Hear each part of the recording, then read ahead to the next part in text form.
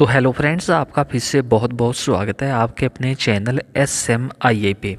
और इस वीडियो में फिर बात करेंगे जीकेपी प्रिंटिंग के स्टॉक की, क्योंकि इसके फाइनेंशियल रिजल्ट्स भी आ चुके हैं। और आज फाइनेंशियल रिजल्ट्स आने के बाद इस स्टॉक में नेगेटिव ट्रेंड है 1.29 परसेंट की गिरावट के साथ। ये स्टॉक 16.81 की प्राइस पे आपको ट्रेड करता दिखाई दे रहा है एट नियरली 11:34 एएम तो आइए इसके फाइनेंशियल डिटेल में जान लेते हैं। इंपॉर्टेंट लेवल चेक कर लेते हैं। सबसे पहले नए आए हो हमारे चैनल को सब्सक्राइब ज़रूर कर लें। बेल का बटन ज़रूर प्रेस कर लें, क्योंकि यहाँ पे हम आपको फाइनेंशियल एनालिसिस करने के बाद किसी स्टॉक में निवेश की राय देते हैं। तो आइए सबसे पहले इसके स्टॉक की ही परफॉर्मेंस देख लेते हैं। आज कंटिन्यूसली इसके स्टॉक में वॉलेटिलिटी बनी हुई है। 17 का लेवल बहुत ही बड़ा इंपॉर्टेंट लेवल है, जबकि फाइव डेज़ में 10 परसेंट की रैली ज़रूर हो रही है। पहले अपर सर्किट लग रहे थे, लेकिन 17 का लेवल एक बड़ा रेजिस्टेंस लेवल देखने को मिला हुआ है। वन मंथ में भी इसके चार्ट में बी शेप रिकवरी ज़रूर है, लेकिन अब इस स्टॉक में गिरावट शुरू हो चुकी है। तो आइए इसके फाइनेंशियल रिज़ल्ट थोड़ा डिटेल में स्टडी कर लेते हैं। दोस्तों, कल इस कंपनी के बोर्ड की मीटिंग हुई थी और उसमें फाइनेंशियल रिजल्ट्स जो हैं वो डिक्लेयर किए गए थे।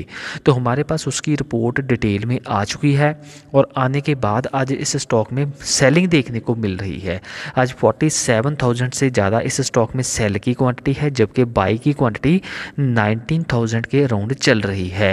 तो देखेंगे कि इसके फाइनेंशियल रिजल्ट्स कैसे रहे हैं। क्वार्टर ऑन क्वार्टर बेसिस पे भी और जीएलई बेसिस पे भी इसके जो नंबर्स हैं डिस्कस कर लेते हैं दोस्तों, आइए हम ले चलते हैं आपको सीधे इस कंपनी के फाइनेंशियल रिजल्ट्स पे। दोस्तों, सबसे पहले बात करेंगे टोटल इनकम की।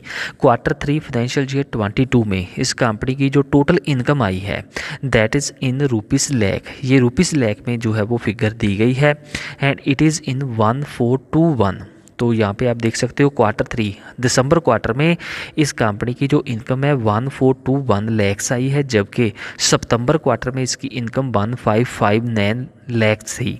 और जबकि लास्ट ईयर सेम क्वार्टर में वन नाइन ज़ीरो सिक्स थी। तो यहाँ पे आप देख सकते हो जीयर ऑन जीयर बेसिस पे भी और क्वार्टर ऑन क्वार्टर बेसिस पे सिक्वेंशियल बेसिस पे भी इस कंपनी के नंबर्स नेगेटिव ट्रेंड शो कर रहे हैं। रेवन्यू रिड्यूस हो रहा है सेल्स वॉल्यूम भी रिड्यूस होते दिखाई दे रहे हैं। सिमिलरली फ़र्स्ट नाइन मंथ का डाटा देखें, यहाँ पर आप देख सकते हो पॉजिटिव ट्रेंड देखने को मिल चुका है। फ़र्स्ट नाइन मंथ में इस कंपनी की इनकम ज़रूर बढ़ती दिखाई दे रही है। तो मिक्स टाइप का ट्रेंड ट्रेंड है, जो थ्री मंथ के डाटा आया है टोटल इनकम का, वहाँ पे सेल्स वॉल्यूम ग्रो हुए हैं, लेकिन नेगेटिव ट्रेंड शो कर रहे हैं, लेकिन नाइन मंथ में इस कंपनी के नंबर्स इंप्रूव हो गए हैं टोटल इनकम इंप्रूव हो गई है। तो बात करते हैं एक्सपेंडिचर की। एक्सपेंस भी इस कंपनी का कम हो रहा है। यहाँ पे देखो सिक्वेंशियल बेसिस पे भी और जीएलई बेसिस पे भी इसके क्वार्टर थ्री में जो एक्सपेंस है, वो कम हो रहे हैं। और जबकि यदि इसके नाइन मंथ का डाटा देखें, यहाँ पे एक्सपेंस ज़रूर बढ़ता दिखाई दे रहा है। तो अब बात कर लेते हैं प्रॉफिट की, क्योंकि डिफरेंट टाइप की कॉस्ट पे करने के बाद टैक्स पे करने के बाद कंपनी के पास प्रॉफिट कितना बचा है, वो अब हम देखेंगे कि कंपनी के पास प्रॉफिट किस तरह का हुआ है। कंपनी का नेट प्रॉफिट देख लो quarter three financial year twenty three में इसका net profit fourteen point fifty two आया है, जबकि लास्ट ईयर सेम क्वार्टर में it was six point eight nine तो यहाँ पे ज़ीरो ऑन जीयर बेसिस पे बहुत ही बड़ा पॉजिटिव ट्रेंड देखने को मिल चुका है और इसका जो नेट प्रॉफिट है वो डबल से भी ज़्यादा हो गया है।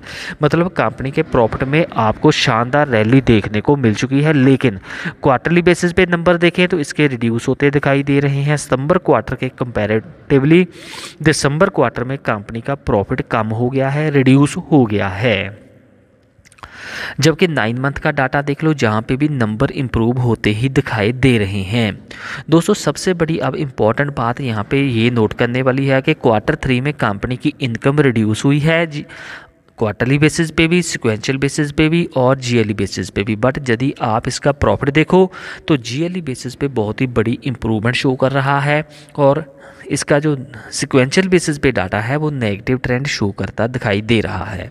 हाँ ओवरऑल आप देख सकते हो नाइन मंथ के नंबर ज़रूर पॉजिटिव ट्रेंड शो कर रहे हैं, क्योंकि मेनली इसकी जो इनकम होती है जीयर ऑन जीयर बेसिस पे ही आप चेक करते हो। तो जीयर ऑन जीयर बेसिस पे कंपनी ने अच्छी इंप्रूवमेंट शो कर दी है और प्रॉफिट में भी बड़ा अच्छा उछाल देखने को मिला है। लेकिन क्वार्टर ऑन क्वार्टर बेसिस पे कंपनी के नंबर्स रिड्यूस हो रहे हैं और सेल्स वॉल्यूम भी रिड्यूस होता दिखाई दे रहा है। तो इसलिए इस कंपनी के नंबर्स इतने अच्छे नहीं रहने के कारण अब इस स्टॉक में थोड़ी वॉलेटिलिटी ज़रूर है। इसमें प्रॉफिट बुकिंग है। अब इसका जो लोअर सपोर्ट लेवल है, वो भी आप नोट कर लें। दोस्तों, इस कंपनी के नंबर्स इतने भी बुरे नहीं हैं, इसलिए आप यदि इस स्टॉक को थर्टीन के अराउंड अकमूलेट कर सकते हो तो एक बहुत ही अच्छा निवेश का मौका हो सकता है, क्योंकि पहले इस स्टॉक में बहुत ही बड़ी वॉलेटिलिटी थी। अब ऐसे तो है नहीं कि ये स्टॉक फिर जल्दी एक मंथ में 200 तक चले जाएगा। ऐसा होने वाला अब नहीं है।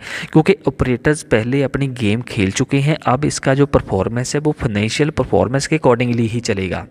तो जैसे जैसे कंपनी की फाइनेंशियल परफॉर्मेंस इंप्रूव होगी वैसे वैसे ही इसके नंबर्स भी आपको इम्प्रूव होते दिखाई देंगे। इसके स्टॉक में भी आपको रिकवरी देखने को मिल सकती है। तो इसलिए आप इस स्टॉक को डिप में बाई करने की कोशिश करें।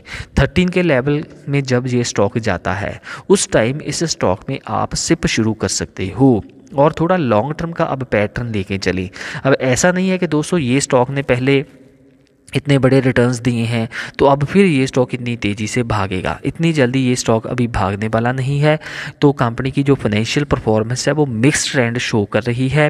यदि क्वार्टरली नंबर्स देखें तो यहाँ पे आप देख सकते हो प्रॉफिट में जीयर ऑन जीयर बेसिस पे इम्प्रूवमेंट है और क्वार्टर ऑन क्वार्टर बेसिस पे रिडक्शन भी देखने को मिली है। इसलिए अब इंपॉर्टेंट हो जाता है कि नेक्स्ट क्वार्टर के नंबर चेक कर लेना। क्योंकि दोस्तों, जब किसी कंपनी के नंबर्स मिक्स आते हैं तो फिर नेक्स्ट क्वार्टर पर जो है वो आपको फोकस रखने की ज़रूरत है अकमुलेशन करनी है तो आप लोअर लेवल पे कमूलेशन करें, इसके सपोर्ट लेवल के अराउंड कमूलेशन करें।